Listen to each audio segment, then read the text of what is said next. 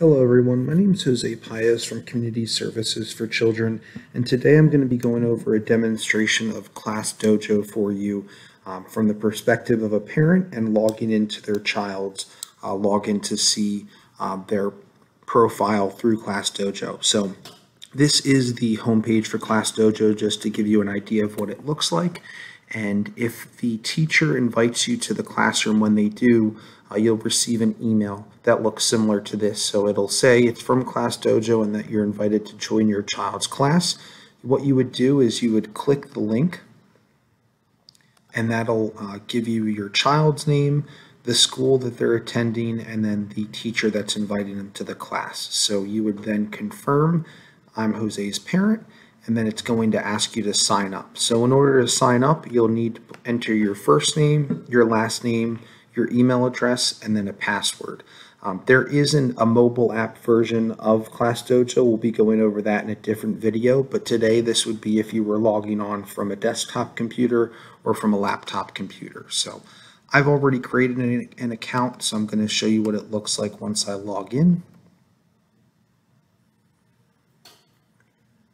So it'll bring you to the home page and what you'll see here is in the top right, it'll have your name and then on the left uh, hand side, it'll show you your child's name.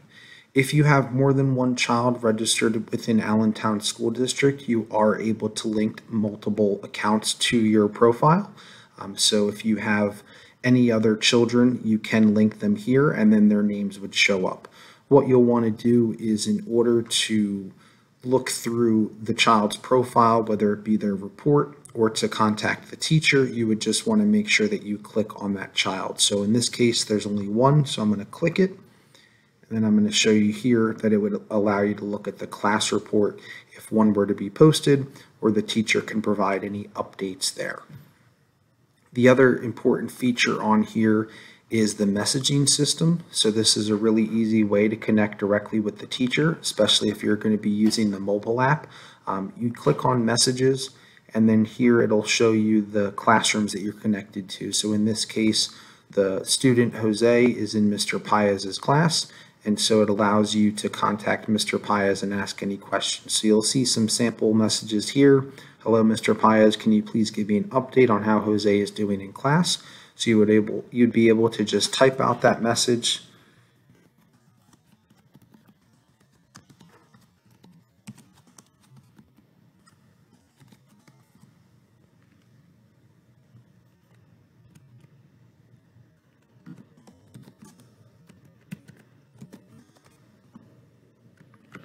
and then that gets sent to the teacher and they get an alert on their system and then they're able to respond in the app.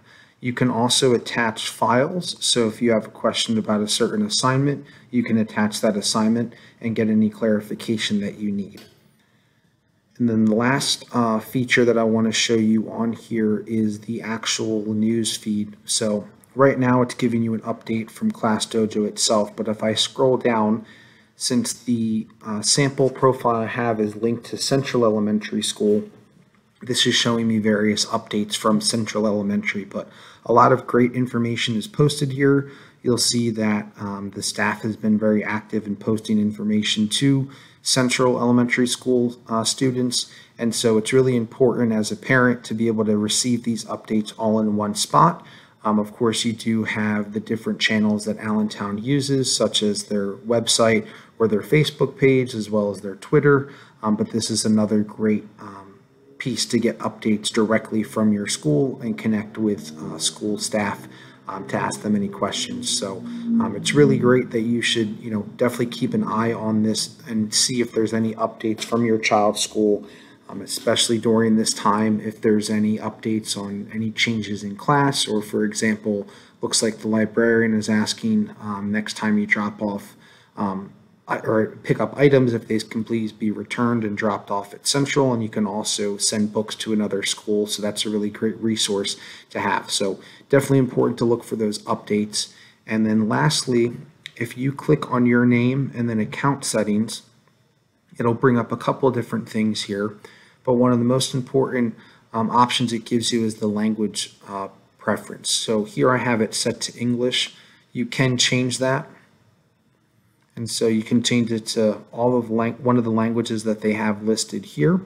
And when you do change that language, you would just hit save changes and that would take place. So if you log in and you'd like to set it to a different language, you would just want to click on your name. Then that first um, box is going to say account settings. And then you'll scroll down to the third section, language preference, and then change that and select save changes and then it'll update. Um, so there you go. That's just a brief overview of Class Dojo um, and how to access both the account to set up an account and then to touch base with the teachers under the messaging as well as to see updates from your school from the news feed. So again, this is for the laptop or desktop version of Class Dojo. If you're going to be using the app, I will be uh, publishing another video that shows that using it on an iPhone. All right, thank you very much. Take care. Hola, mi nombre es Ali Campuzano y hoy les voy a hablar sobre Class Dojo y cómo usarlo desde la perspectiva de los padres y cómo ver perfil. Así es como se ve cuando el maestro te invita a Class Dojo. Vas a recibir un correo electrónico que dice Class Dojo. Una vez le va a dar clic y va a aparecer el nombre de su hijo, recuerda dónde van a ir el nombre de maestro y luego tiene que confirmar que usted es el padre de, el padre de ese hijo o hija. y luego se va para que te registras. Vas a poner su nombre, su apellido, correo electrónico y su contraseña y le va a dar sign up.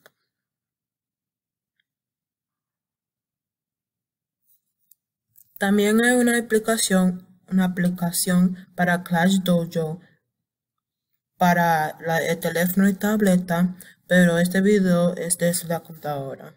Como puede ver, Ya hice una cuenta. Lo llevará a la página de inicio. En el lado superior derecho le mostré su, su nombre. Y en el lado izquierdo lo mostré el nombre de su hijo. Si tiene otro estudiante de distrito escolar de Allentown, también puede agregarlo. También se puede comunicar con el maestro. Haga clic en el perfil del niño y aquí podría ver cuando hay una actualización. Algo más importante es el sistema de mensaje. Hale clic en los mensajes y podría ver en qué clase están y puede enviar un mensaje, por ejemplo, Hola, puede, puede informarme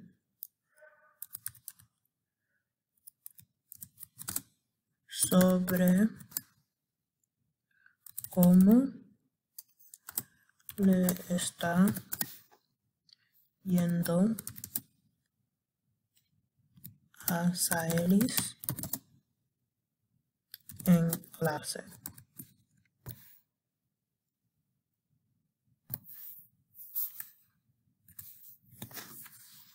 Y eso se envía a la, a la maestra.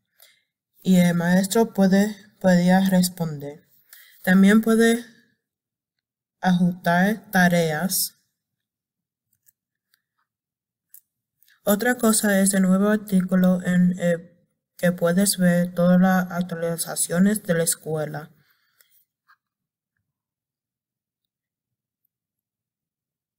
Y esta es una excelente manera de contactarte con una persona de la escuela.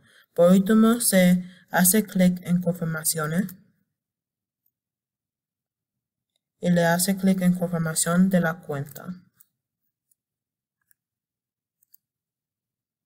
Puede cambiar la idioma a cualquier idioma que necesita, y esto para la versión para computadora, no para la versión de la aplicación de teléfono o tableta. Espero que esto lo haya ayudado. Gracias y que tenga un buen día.